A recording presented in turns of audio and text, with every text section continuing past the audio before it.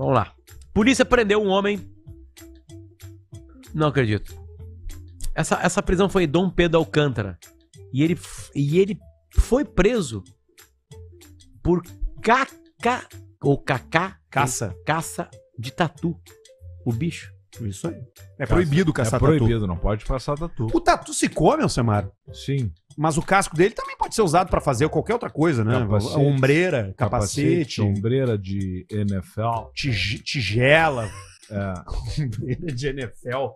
Tu faz, né? Mas não pode, né? Mas é que antigamente era outra coisa. Quantos cabos de faca tu hoje vê cabo de tatu? Mas- E ainda mais do que isso, tem o disco de arado da marca Tatu e tu faz faca com o disco de arado marca Tatu, com a marcação original e com cabo de tatu. Eu ouvi de um, Um de um- de um sobrevivencialista. Comprei por 20 dias. e vendi pro Arthur por 900. Ganhei E tu vê- 880 nessa brincadeira. No storytelling. Só Só na no brincadeira. Semana passada eu falei. Eu Caralho, entrevistei um- Pedrão, que faca foda! Cara, Pedrão! Quanto? 900, Arthur. Pagou quanto? Não, vou te fazer isso de mano. De Pix. Me dá 900. Vai ser a aí. mesma coisa com o carro. Eu entrevistei o cara que ganhou Largados e Pelados esses dias. Que ele, que ele ganhou É, ele participou e sobreviveu, né? da até o dupla final. que ele tava. Da dupla que ele tava, é. E ele, e ele me falou que quando tu tá perdido no mato e tu mata um animal pra comer, tu não- não é crime.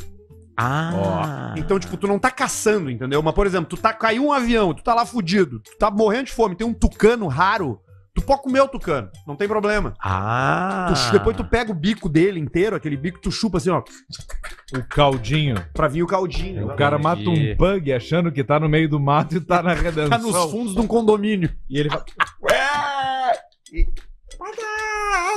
Mas essa, essa Ai. observação é importante, que depende muito de onde tu esteja. Completamente, completamente. Se tu não tá com fome vai. dentro de uma cidade. Não, tu vai estar com fome no meio da mata selvagem. Entendi. Tu vai estar com fome no meio do, do deserto. Entendi, entendi.